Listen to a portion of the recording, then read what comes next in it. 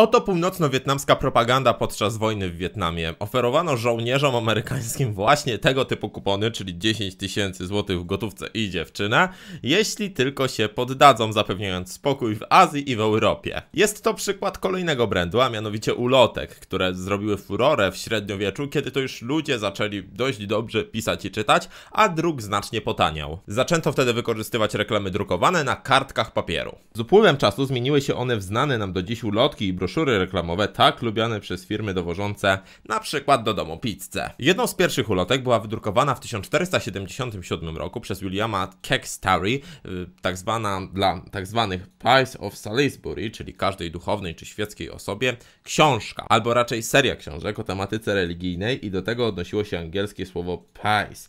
W XVI i XVII wieku powszechnie używano w Anglii ręcznie robionych ulotek, nazywanych sequins.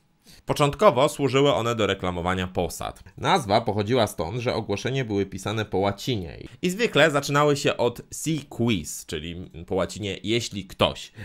Wkrótce powiadomienie dotyczyło innych spraw, w tym rzeczy znalezionych, zgubionych czy ucieczek czeladników. Ulotki stały się popularną formą reklamy w XIX wieku. Były naklejane na ulicach i umieszczane w centrach miast, żeby przyciągnąć uwagę przechodniów. Reklamowały wszystko. Od usług kapeluszników po ewangelizujące grupy religijne. Sukces ulotek polegał na tym, że docierają one do potencjalnych klientów natychmiastowo i bez pośredników. Można je też szybko i tanio produkować, szczególnie od czasu wprowadzenia na rynek niedrogich drukarek cyfrowych w latach 90. XX wieku. W ostatnich latach produkcja za pomocą tradycyjnych technik drukarskich przeniosła się w dużej mierze do internetu. Klienci przesyłają mailem ustalony szablon ulotki i dostają później kilka tysięcy egzemplarzy. Mogą być bardzo skuteczne jako rodzaj marketingu bezpośredniego, a szczególnie jeśli chodzi o dotarcie do ściśle określonej grupy docelowej jak choćby potencjalnych klientów dostaw jedzenia z lokalnej restauracji, albo klientów na to, jak sprzedawać swoją wiedzę na stronie, jak sprzedawać swoją wiedzę, gdzie przygotowałem dla Ciebie